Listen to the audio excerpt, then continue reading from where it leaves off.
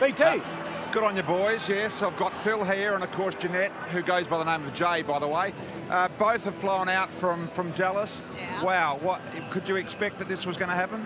Um, we were sure hoping for. We were looking before at flights before the actual day. You know, I mean, before they won the last game, and uh, then we thought, okay, well, as soon as that happens, we're going to book them. So, and that's what we did. He's done a great job, Phil, getting to this point, hasn't he? I think uh, has he played? I think he's played every game this year.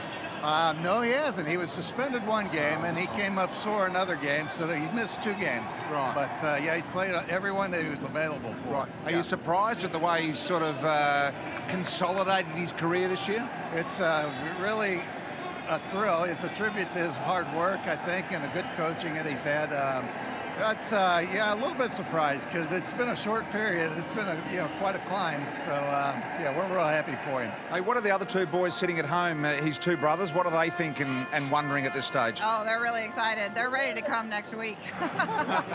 What, what do you make of this? I mean, you, you would understand that this is the biggest rivalry in football, the two biggest clubs in Australia playing the biggest game of the year. Amazing. It is going to be incredible. We're just really looking forward to a huge crowd tonight and the atmosphere. I've already had a meat pie, and I'm just going to soak up the whole experience. So, Abs- yeah. Absolutely fantastic. And you're sitting just behind us here down the front, great seats. yeah, we're really good. We have great seats right behind the goal. So, The pies are looking after you. oh yeah. Both on uh, on being able to get your son in this position. Yeah. We hope that you stay the extra week and it works out for you, and the other boys can come out and watch. Good luck today. Looking forward to it. Thank you very much. Yeah. Well, we're staying for another week regardless, so we're good. Back to you guys.